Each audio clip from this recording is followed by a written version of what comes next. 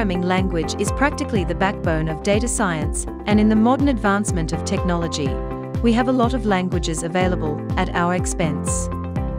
But the question is which one among them is the most suitable for a data scientist? Currently, the latest group of programming languages that data scientists use are Python, Julia, and R. All these languages have their unique attributes, and they also have areas of expertise.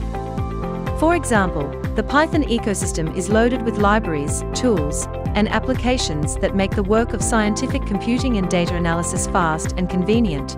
But Julia aims to give scientists and data analysts not only fast and convenient development, but also blazing execution speed.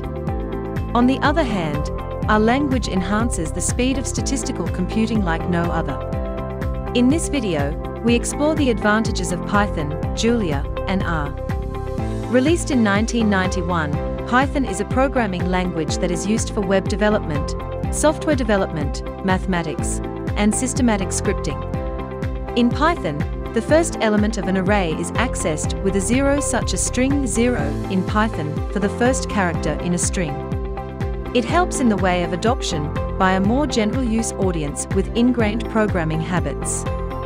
Python has a faster startup, which keeps it ahead of Julia and R. The breadth and usefulness of Python's culture of third-party packages remains one of the language's biggest attractions. Aside from gaining improvements to the Python interpreter, including improvements to multi-core and parallel processing, Python has become easier to speed up. The MyPyC project translates type annotated Python into native C, far less clunkily than Cython. It typically yields fourfold performance improvements, and often much more for pure mathematical operations. And the advantages of Julia are as follows. First appearing in 2012, Julia is a high-level, high-performance, dynamic programming language. While it is a general-purpose language, and can be used to write any application. Many of its features are well suited for numerical analysis and computational science. Julia's JIT compilation and type declarations mean it can routinely beat pure, unoptimized Python by orders of magnitude. Python can be made faster by way of external libraries, third-party JIT compilers, PyPy, and optimizations with tools like Cython, but Julia is designed to be faster right out of the gate.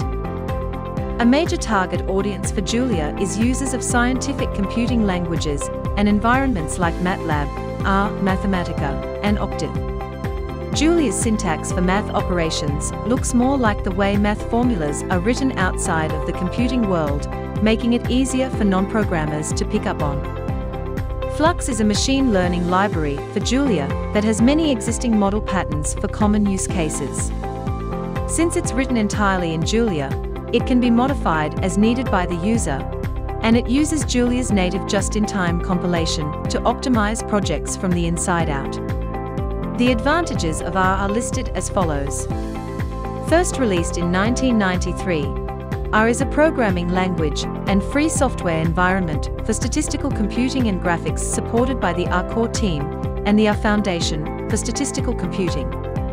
The R language is widely used among statisticians and data miners for developing statistical software and data analysis.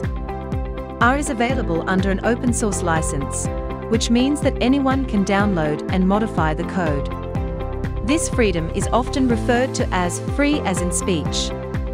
R is also available free of charge. Anybody can access the source code, modify it, and improve it. As a result, many excellent programmers have contributed improvements and fixes to the R code. For this reason, R is very stable and reliable. R performs a wide variety of functions, such as data manipulation, statistical modeling, and graphics. The one really big advantage of R, however, is its extensibility. Developers can easily write their software and distribute it in the form of add-on packages.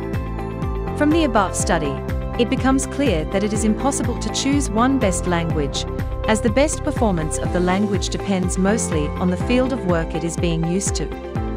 So the data scientist must choose the suitable language, as per the nature and requirements of his work. For more such updates subscribe to Analytics Insight.